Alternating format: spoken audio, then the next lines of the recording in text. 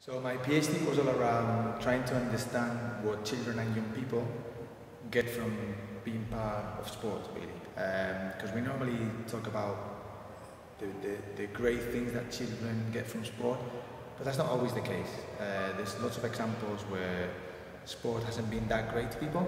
So I wanted to find out what children can get from sport beyond the physical and the tactical and the technical around their personal development. It was a very personal choice, really. Um, I think it started with me being uh, an athlete for 20 years.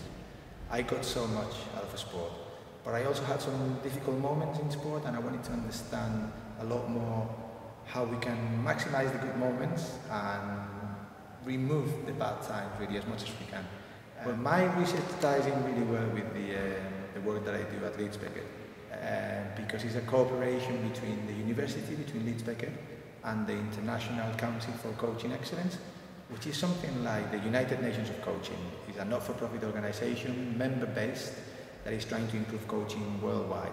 Um, so all the research that I do has that purpose, that is trying to support people develop coaching systems or actually support the development of tools that help coaches on the ground. Well, the impact of my research is, um, I think it's been substantial really because the work that we've done, and it's not just me really, it's the group of people that work around uh, the, the, sport coaching uh, school really.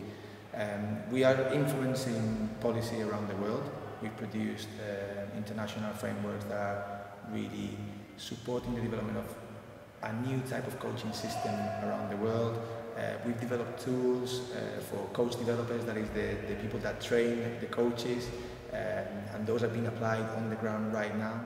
My proudest achievement uh, to date um, would be the development of the iCoach Kids uh, website and the free e-learning. Uh, as a children's coach myself of 20 years, um, I always wish that someone had really put together everything that I needed to know uh, when I was starting out. Right, so Viva is the, the moment of truth, really. You've, uh, you've completed your dissertation, uh, you submitted it, uh, and then you have to face a panel of two external examiners, an internal examiner, and an independent chair. And you are supposed to have a professional conversation with them where you clarify any questions they may have about your thesis. It is, by all accounts, a nerve-wracking moment, uh, but in my case it was also a very enjoyable one. Um, I was lucky enough that two people that I respect uh, a lot came to be uh, my external examiner, people that I respect their work, uh, and also someone, uh, Professor Andrew Sparkes was my internal examiner, and I, I, I, I mean, I've been reading Andrew's work for 20 years.